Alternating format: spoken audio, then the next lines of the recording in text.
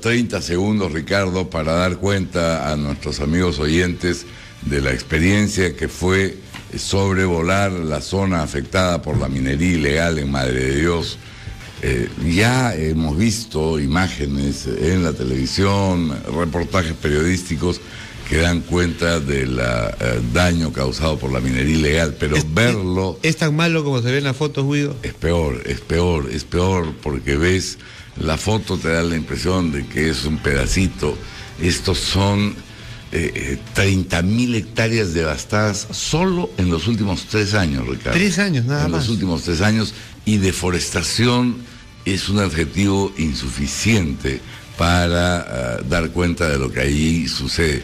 Es una verdadera devastación. Es como si metieras un pedazo de desierto en medio de la selva amazónica. Es un desierto envenenado porque no solamente se deforesta, sino que se envenena el suelo. Así es, se envenena el suelo y se envenena el agua. es tan impresionante que hay zonas en donde este lodo, que es el residuo de la explotación minera, se mete al bosque y los árboles mueren de pie, es decir, el bosque muere completamente asfixiado por, este subproducto de la...